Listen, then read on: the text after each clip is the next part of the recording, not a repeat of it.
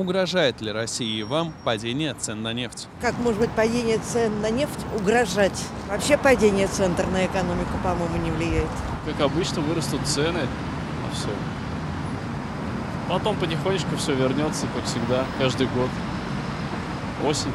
Нынешнему государственному устройству возможно. Верное снижение уровня жизни, я так полагаю, поскольку существенная часть бюджета составляет, э, существенная часть бюджета составляет доходы, получаемые от экспорта нефти, да, то, соответственно, со снижением цен на нефть эти доходы станут меньше, то есть доходная часть бюджета уменьшится. Я думаю, да, э, потому что мы живем на нефти, это наш основной ресурс, как и остальные э, природные ресурсы нашей страны. В принципе, угроза есть, но не думаю, что она сильно высока. Да нет. У нас и 20 долларов она стоила, и 30, и 50, и 100. Экономика работала.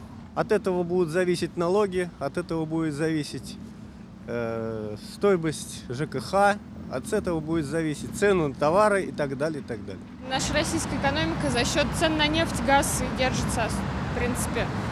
Ничего сами мы особо не производим, к сожалению. Да я думаю, особо сильно ничего не пострадает. Она уже не раз поднималась и опускалась, поэтому... Ну, затронет курс доллара повысится, щ- э, сразу пойдут повышение цен уже на бензин, на все, поэтому это Я считаю, что российской экономике угрожает другое.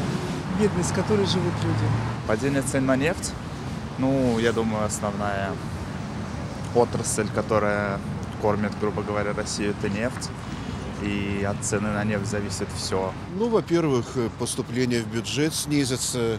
Во-вторых, упадет нефть, значит, поднимется доллар. Соответственно, инфляция будет выше. Цены поднимутся у нас практически на все.